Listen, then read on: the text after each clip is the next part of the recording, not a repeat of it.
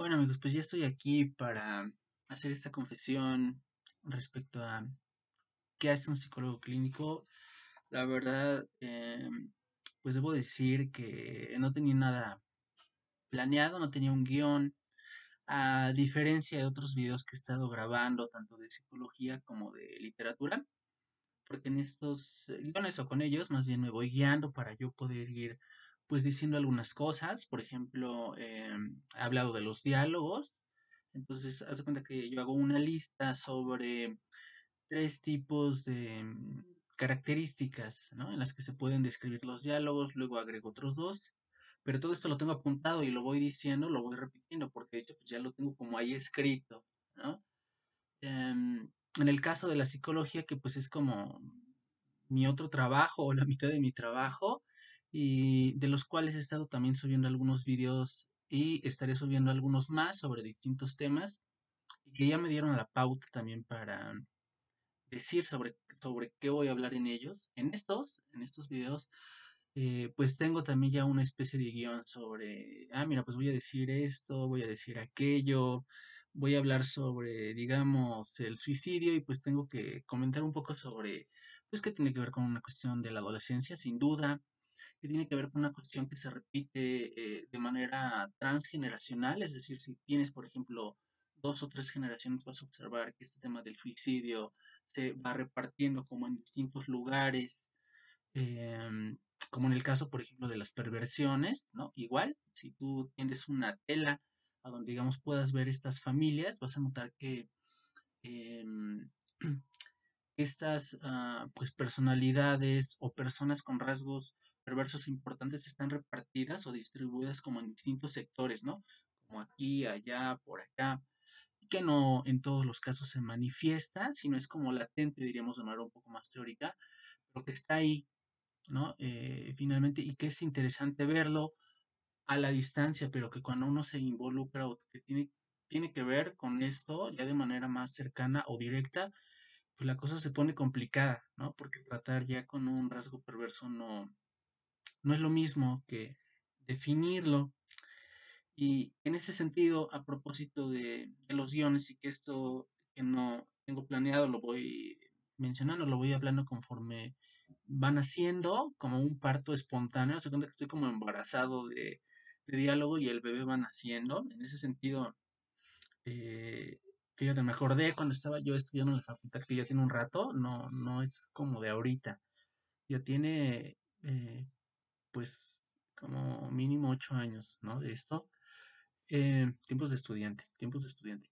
Tiene ocho años mínimo, ¿no? Em, eh, por ejemplo, a mí me tocó ver esta cuestión como de las tres estructuras básicas que plantea el psicoanálisis, ya sabes, neurosis, perversión ah, y no, neurosis, perversión y psicosis son las tres estructuras básicas y que me las aprendí así, no tengo yo como una biblioteca o una bibliografía impresionante al respecto, pero recuerdo perfectamente, ¿no? Que nos mencionaban, por ejemplo, que esta cuestión de la eh, neurosis es como una estructura, un cajón a donde más o menos andamos todos, más o menos, ¿no? Que son las personas más o menos normales, nos decía el maestro. En esta cuestión de la, es que me vino la palabra esquizofrenia, porque pues finalmente es una estructura eh, de psicosis, es una estructura psicótica, ya sabes que hay alucinaciones, hay eh, delirios, ¿no? Una alucinación es una percepción falsa, altamente subjetiva, podríamos decir, que solo la percibe un sujeto, y una, un delirio tendrá que ver más bien como con una historia que uno se crea alrededor, pues como de algún evento, pero no, no, no tiene que ver, como decimos popularmente, con una chaqueta mental, como de qué va a pasar, si él hace esto o si yo hago aquello, ¿no? Eso es más bien, este, puede ser ansiedad, puede ser tensión, pueden ser ideas, ¿no? Pero no son como propiamente una, eh, un delirio, ¿no? Que este, fíjate, me vino a la memoria de un compañero que comentaba, solo, solo de caso, este, de como de un tipo que mató a su esposa, y este, porque tenía que salvar al mundo si no hacía esto, ¿no? Que, dicho así, pues puede sonar bien fácil y que yo afortunadamente no me he topado como de manera directa con eso. afortunadamente, no, porque no, o sea, yo no me lo imagino. Me he topado con algunas otras cosas también muy complicadas, como lo personal, también en el consultorio con varias, muy, muy complicadas, no con esto.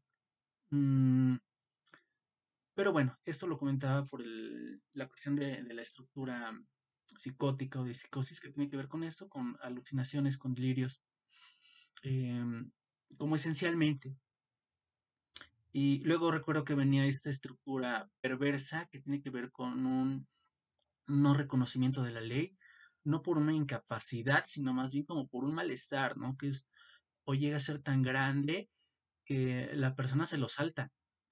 Puesto que estas personas se dan cuenta de esto. Hay algunas que no, porque ya no desde el psicoanálisis, sino desde otro enfoque un poco más humano, pues están en un estado de inconsciencia. Todos lo estamos en algún grado, pero, eh, pero te digo, sobre todo cuando son rasgos perversos, hay inconsciencia, ¿no? Es decir, como puede haber una estructura general neurótica con rasgos perversos, ¿no? Es decir, una persona que más o menos tenga una vida normal, pero que eh, eh, como sus acciones estén teñidas de esto, ¿no? De estar como constantemente saltando las normas. La ley del padre, teóricamente, ¿no? Diría Lacan, etcétera. Este, a los que les interese, bueno, pues pueden consultar este autor, pero para quienes no o no tanto, eh, esto, esto es importante y lo podemos señalar así, ¿no? Esta estructura perversa o los rasgos perversos tienen que ver con este desafío eh, a la ley que tendríamos que diferenciarlo, por ejemplo, de una cuestión adolescente, ¿no? A donde se van rompiendo las reglas o algunas reglas de manera natural para ir en búsqueda de algo más que es simplemente el conocimiento propio, el conocimiento de sí mismo, pero hasta cierto límite, hasta cierto límite que es no dañar a los demás o no dañarse a uno mismo.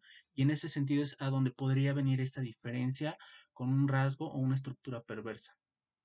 Que hablando ya propiamente de ella, eh, pues podremos decir, podremos señalar que pues es, esta característica es como predominante y a donde pues la podríamos ubicar perfectamente, pues es por ejemplo en esta gente que ya eh, mata ¿no? O sea, ya el asesinato es, digo, a mí no me ha tocado verlo también afortunadamente y espero que no me toque, pero el asesinato es, creo, por lo menos intelectualmente, como, como el peor salto que uno puede dar con respecto a esta ley del padre o a esta norma o a esta represión, ¿no? A esta barrera que todos sabemos que existe, que es, oye, creo que esto ya no está bien. Esa línea que es la represión o la ley, el, ese ya no está bien, pues estas personas se lo saltan y se lo saltan con gusto incluso a veces. E, entonces ahí teóricamente podemos hablar incluso de un goce que no se puede dar solamente en las estructuras perversas, sino en otras que tengan rasgos de, de ella. Eh, y esta cuestión del goce es complicada, ¿no? Porque es gente que disfruta de verdad como estar sufriendo contigo, con los demás, ¿no? Es, es eh, complicado me viene a la memoria una escena de esta película Hannibal, a donde Anthony Hopkins, que ya sabes es el, autor, eh, pues como uno de los protagonistas, de repente hace un gesto así como mm, algo así, ¿no? Que se está como saboreando a alguna persona porque sabes que se la va a comer. Bueno, ese es un ejemplo cinematográfico ficticio de una estructura perversa, donde, como decía, este rasgo, esta característica de estar sobrepasando la ley constantemente como es una algo que priva, no es una primacía, es algo que está como esencialmente en la mente y en el ser de una persona, ¿no? Y que, por cierto, como referente teórico es importante, puede ser em, como ilustrativo, ¿no? Para esto, pero que eh, en la realidad no necesariamente es así. Fíjate, voy a abrir un paréntesis a propósito de esto, es a veces inevitable, ¿no? Pero, bueno, yo soy escritor también, y, este, y de repente hay algunas novelas eh, en las que se habla, por ejemplo, como de eh, que hay ciertos eh, eventos detonantes y que marcan lo que un personaje va a ser, como en el caso de, de Hannibal, y que dentro de la ficción puede ser así, pero en la realidad no es necesariamente así. Ah, yo creo que debería ser un video sobre eso específicamente, fíjate, lo voy a, lo voy a considerar, no lo sé aún. Mm, pero volviendo eh, de la ficción a la realidad, la realidad es que eh, estas estructuras perversas, eh, a diferencia de lo imaginario, no tienen o no están marcadas como realmente por algún evento específico. Sabes, como te decía en este libro o en las películas a, donde se menciona como de, este, a él lo quemaban de chico, entonces ahora él se vuelve un tipo que quema a todas sus víctimas. Como no es necesariamente así. Una persona que ha sufrido violencia de cualquier tipo, eh, desde luego que va a llevar esta carga y que si es demasiado va a posicionarse esencialmente en una estructura de este tipo, pero que no es forzoso que, haga lo que le hicieron a él, ¿no? O sea, lo puede transformar.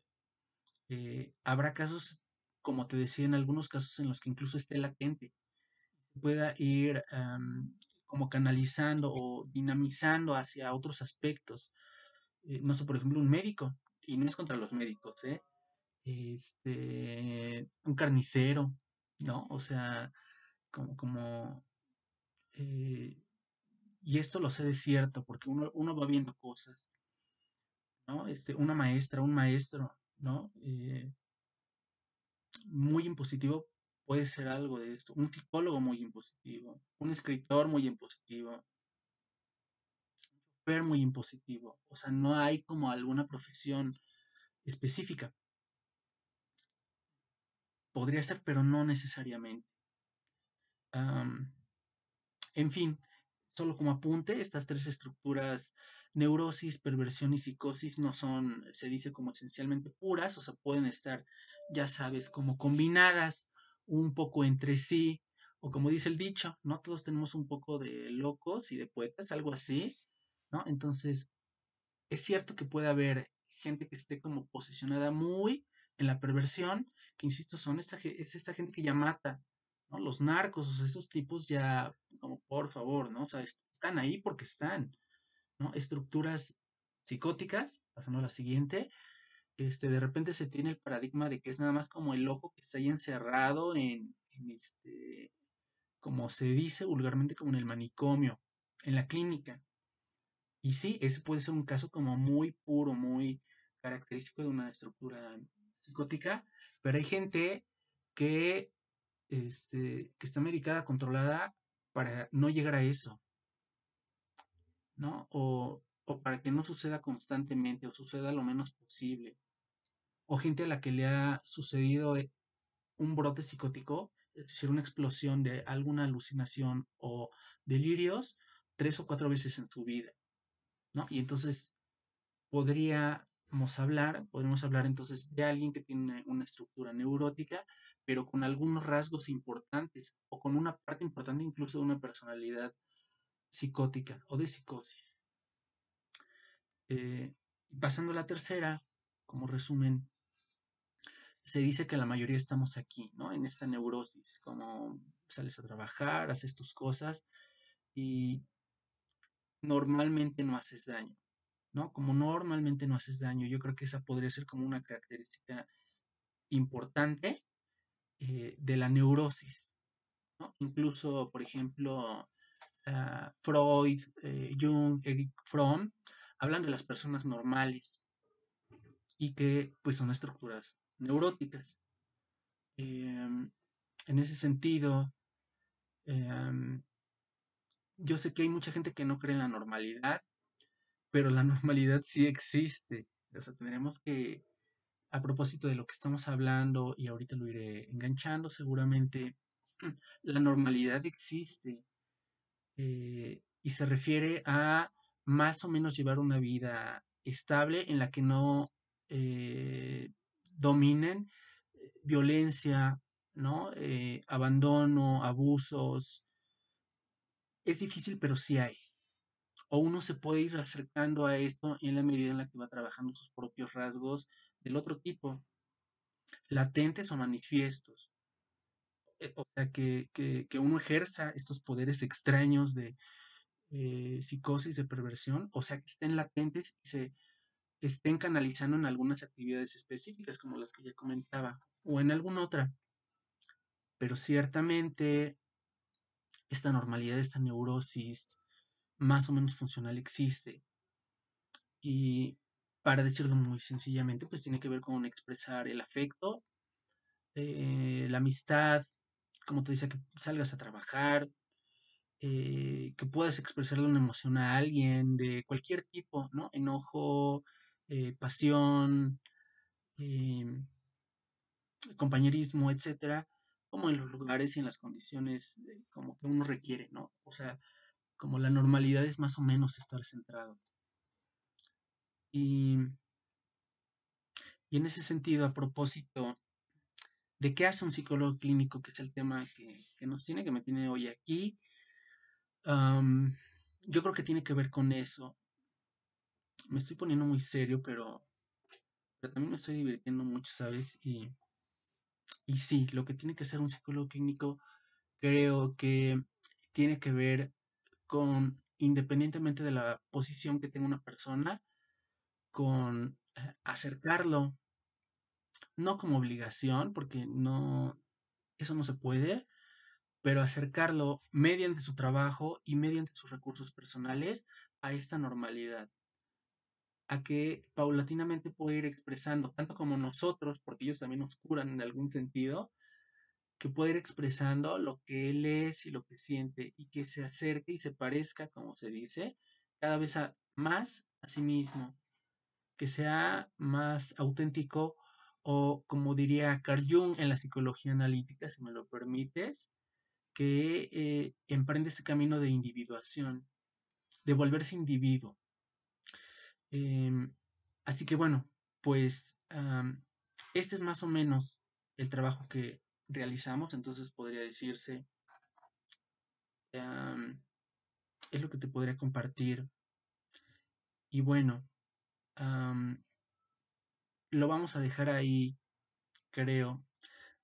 Eh, pero antes creo que me gustaría apuntar que eh, de manera adicional, pues todo esto se realiza, como siempre le he dicho, en un consultorio real o presencial. Hace un rato, me acaban ya de, eh, decir que alguien no quiere terapia virtual. No sé por qué no quieren eso, si sí se puede y todo. No es como mm, la primera opción que yo tomaría ni para mí ni para los demás, pero es una opción que está ahí.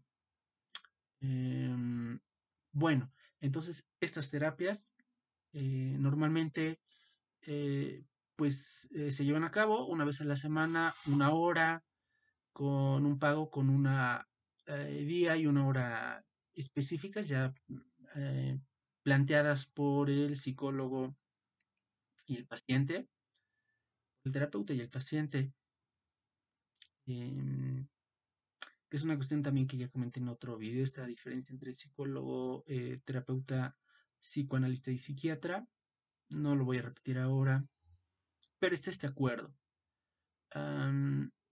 y bueno, em, ¿qué es lo que se va a hacer ahí? Se va a hablar, se van a hablar cosas importantes, porque lo que se hace es canalizar todo lo que uno no es por medio de la palabra para ser lo que sí es.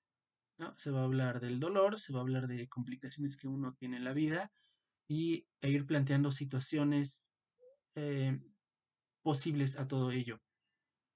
Em, también se le va dando espacio a al por qué no, ¿no? ¿Por qué no puedo hacer esto? ¿Por qué no puedo decir aquello? Se le da espacio y a partir de ahí se replantea una situación para modificarla en fin, que lo que se hace es eh, revisar el pasado a partir del presente para que el futuro pueda ser distinto. Eso es, entre muchas cosas, lo que nosotros hacemos. Insisto, todo esto determinado por medio de la palabra. Es decir, todo esto se canaliza por medio del verbo. Y eso es importante, ¿no? Incluso en la Biblia se dice, la Biblia avisa como elemento bibliográfico, como libro, no como documento religioso, ¿no? Y él dijo, hágase la luz y la luz se hizo. Y Eso es lo que intenta uno hacer ahí. No uno solo, insisto, ¿eh? Porque también hay cosas que el mismo proceso nos va dando. No quisiera yo hoy ponerme muy espiritual porque sí lo voy a hacer en otros momentos, pero para hablar propiamente desde la psicología, podría decir que es el proceso mismo el que nos va alumbrando, el que nos va dando luz respecto a nuestras sombras, en el sentido más normal de la palabra y en el sentido también teórico. El proceso que es algo más grande que las dos personas que están ahí. Digo dos porque normalmente son dos, algo que se trate de terapia de pareja, algo así. Pero hablando de una terapia como normal, ¿no? Eh, es el proceso el que nos va llevando y conduciendo algo más grande que nosotros. Y es ese proceso el que nos va diciendo cómo, cuándo, con quién, dónde, a qué hora, para qué, por qué. Y el que nos va ayudando. En fin,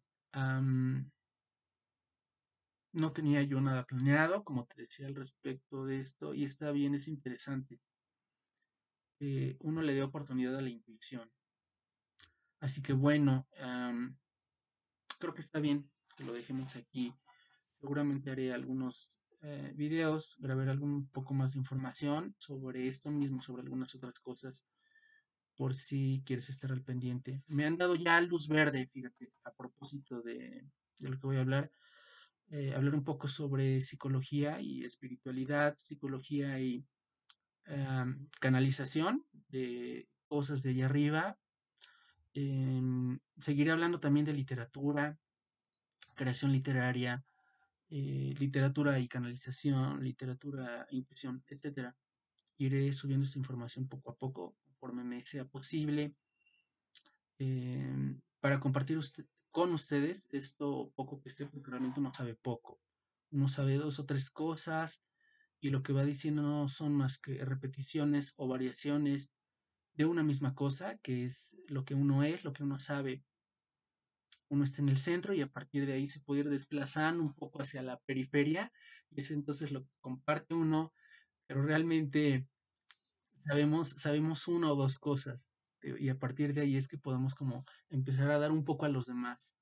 No hacemos magia, ¿no? Ni como escritores ni como psicólogos.